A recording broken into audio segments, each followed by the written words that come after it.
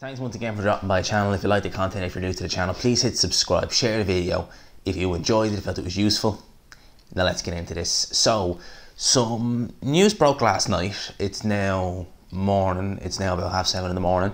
Um, news broke last night about Andy Ruiz. Now, Andy Ruiz, we know not long after his fight with AJ, he split with Manny Robles.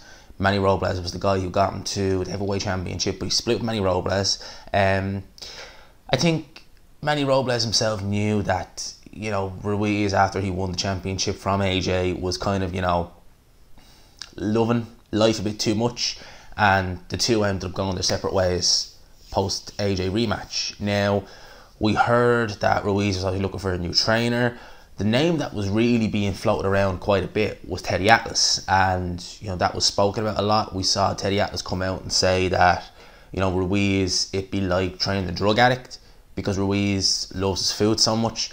Now Teddy Atlas and Andy Ruiz to me seemed like a good combination if that was going to happen because Atlas with the Cus D'Amato style, you know he's trained, you know guys like Mike Tyson, he's known he knows how to get these short pressure fighter heavyweights to you know get the best out of themselves. But obviously, Teddy Atlas is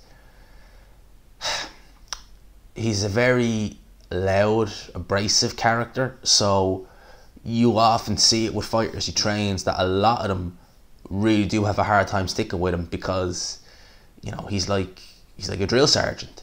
You know he will he doesn't hold back.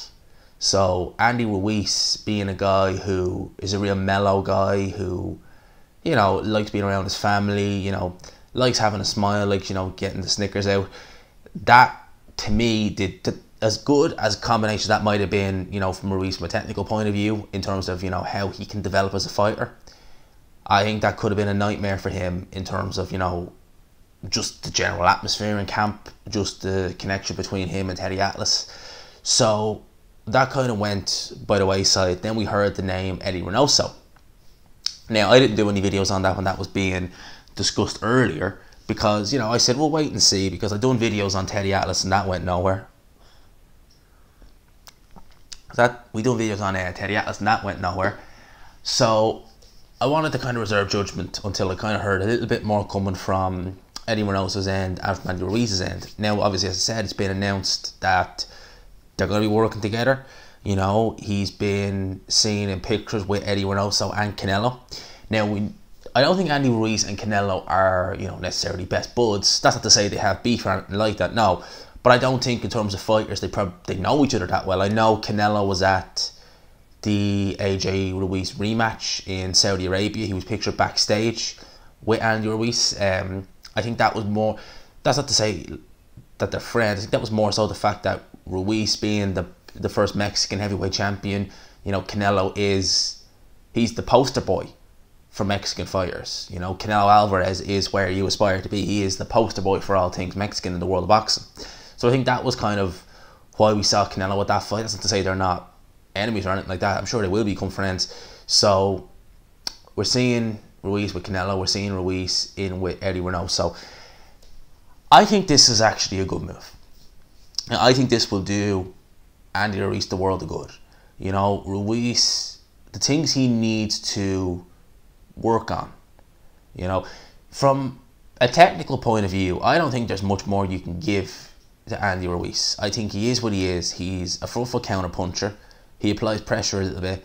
He's got very fast hands. He's not got the greatest head movement and very slow feet. What do you need to do? You need to get rid of them slow feet. You need to get his head moving a little bit better. How do you do that? You take the weight off him. That's more Andy Ruiz than the trainer. Okay, so when people say, you know, oh, he needs to be able to do this as a fighter technically, you know, and the trainer can't do it, that's his fault. Well, in some instances, yes, it is. You know, when you look at, you know, trainers like Jay Deas who train guys like Deontay Wilder and stuff like that, you know, the mistakes the fighters are still making, that's obviously a reflection on his training methods. But with Andy Ruiz, it's not necessarily a reflection of the training methods, it's more so the weight. Because if you took the weight off him, he'd be able to do the things he needs to do a lot easier and a lot more effectively. Now, Eddie Reynoso, he's not shown to be as abrasive as Teddy Atlas. He doesn't need to be as, what's the word? He's not going to be you know, as loud as Teddy Atlas in terms of what he's going to do with Andy Ruiz in camp. But Eddie Reynoso is a fantastic trainer. You know, he has brought Canelo Alvarez along incredibly well. You know, he's got Ryan Garcia now. He's also got that Julio Cesar Martinez guy. So he does he have Jaime Munguia? I'm not sure. Um, I think there was talk of him with Jaime Munguia, but I don't think I'll have to check that. But I think he might have Jaime Munguia. But he's brought Canelo Alvarez along, you know, very well. And that goes without saying. Just look at the fighter he is. Even just look at Canelo a few years ago. You know, 2016. And you see that he's nowhere near what he is now. And a lot of that you can say is Canelo improving. But a lot of that is down to the work Eddie Reynoso has done with him.